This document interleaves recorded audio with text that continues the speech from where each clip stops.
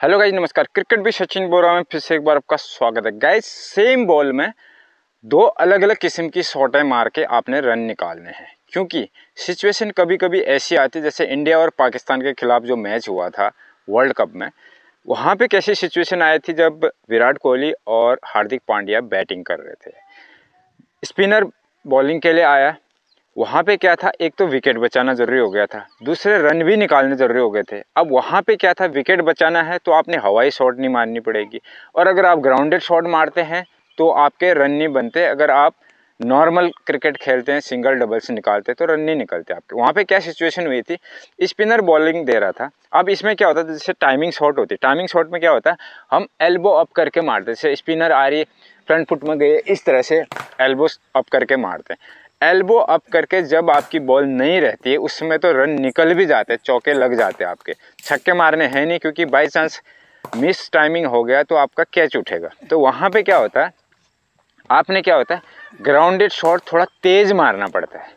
अब देखो same ball है, जैसे माना मेरी यहाँ पे फुल लेंथ में बॉल आ रही मैंने अगर नॉर्मल अगर क्रिकेट खेल रहा हूँ मैं स्टार्टिंग में तो कभी भी क्या है, आदमी तेज़ करके कभी नहीं मारता इस तरह से ग्राउंडेड उसमें क्या होता है एल्बो अप करके इस तरह से खेलते हैं, या ऑफ़ में आती है ऐसे निकालते हैं, या बैकफुट में जाती है ऐसे एल्बो अप करके मारते हैं। अब रन भी निकालने ज़रूरी हैं और विकेट भी बचाना है। तो वहाँ पर क्या होता है सेम शॉट को, जिस शॉट को आप ऐसे मार रहे थे उसी शॉट को आपने क्या है।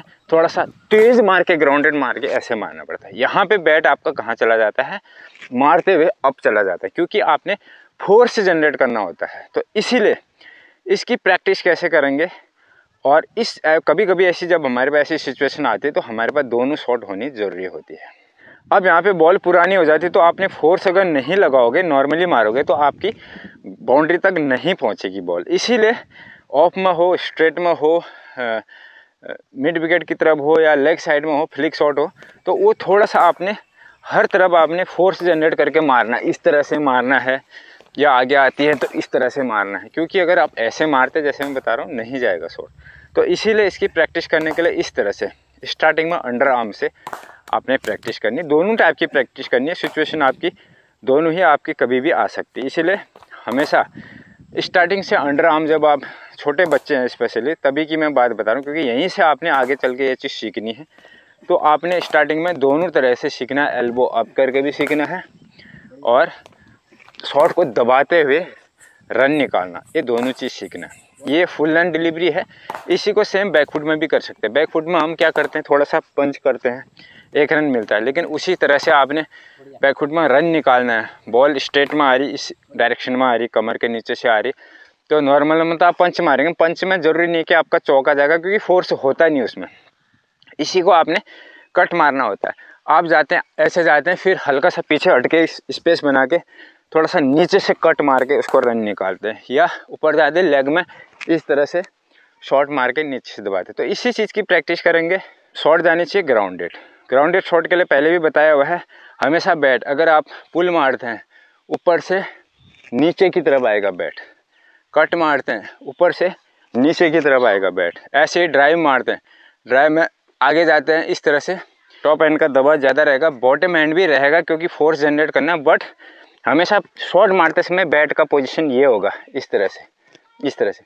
अगर यही चीज़ आप उठा दिया तो ऊपर चला जाएगा। जैसे सिचुएशन ठीक हो जाती है, हार्दिक पांड्या ने भी देखा होगा आपने, फिर उसके बाद स्ट्रोक खोलना शुरू कर दिया था। जब थोड़ा सा एक आध चौके लग जाते हैं कॉन्फिडेंस बढ़ने लग जाता है रन की रिक्वायरमेंट और ज़्यादा बढ़ने लग जाती है, फिर आपने क्या करना है सेम बॉल को, जिसको आप ड्राइव मार रहे थे सेम बॉल को हिट मारना है। तो हिट मारने की भी प्रैक्टिस आपने बीच बीच में करनी है और ग्राउंडेड शॉट मारने की भी आपने प्रैक्टिस करनी है। छोटे लेवल में आप हिट ना भी मारो, चलेगा। बट कभी कभी छोटे लेवल में भी ऐसी सिचुएशन आती है, आपने धीरे धीरे छक्का मारना भी सीखना पड़ेगा। इसीलिए ये चीज़ आपने करनी ज़रूरी है नेट प्रैक्टिस में।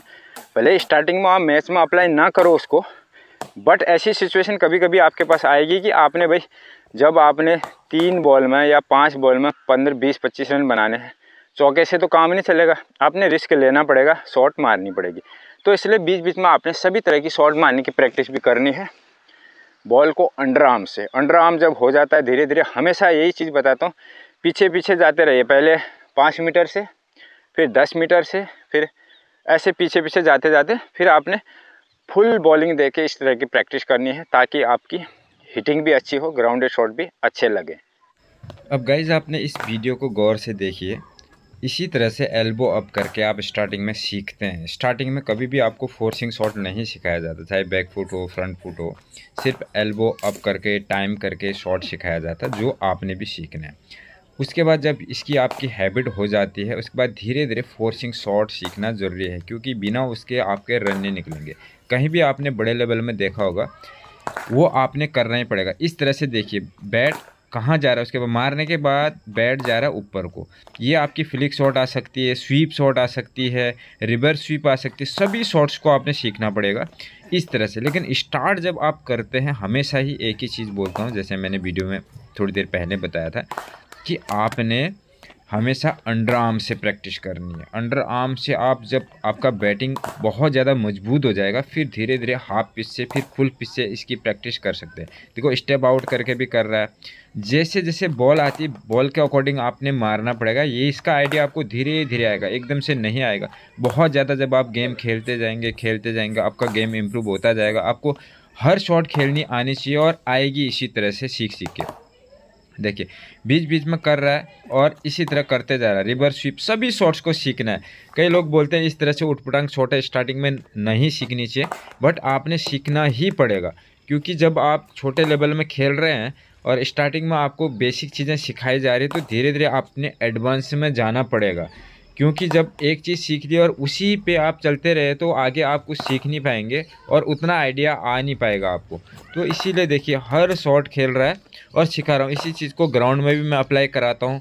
यहाँ पे नेट पे सिखाता हूँ, अंडर आर्म सिखाता हूँ, फिर ओवर आर्म सिखाता हूँ। उसके बाद इसको मैं हफ़्ते में एक दो बार फुल ग्राउंड पे ले जाता हूँ, जहाँ और बच्चे भी आते हैं, उनके साथ हम इनको खिलाते हैं। तो वहाँ पे भी इन शॉटों को अप्लाई करता है। और एकदम से वहाँ पे भी नहीं होता, जब आप ग्राउंड में जाएँगे, एकदम से इस तरह की सभी शॉट आपसे नहीं हो पाएँगे। आपको लगेगा कि यार, ये तो थोड़ा सा मुश्किल लग रहा है, नेट में अलग होता है, यहाँ पर कुछ अलग अलग लग रहा है। तो वो कोई प्रॉब्लम नहीं। आपने इसी तरह प्रैक्टिस करते जाना धीरे धीरे वहाँ पे बीच बीच में अप्लाई करेंगे ना, वो आपको कॉन्फिडेंस आता जाएगा। आप स्वीप शॉट मार के देखो, नेट में मार के देखो अंडर आर्म मार के देखो इजी लगेगा। जैसे आप ग्राउंड में जाएँगे, दूर से बॉल आएगी, आपको अजीब लगेगा, मार ही नहीं पाएँगे। तो ये आप जब करते जाएँगे तो आपको आइडिया आता जाएगा और आप धीरे धीरे सीखते जाएँगे। तो गैज उम्मीद करता हूँ कि वीडियो आपको पसंद आए अगर पसंद आए तो लाइक ज़रूर करना। चैनल में नहीं है तो चैनल को सब्सक्राइब ज़रूर करना। थैंक यू धन्यवाद।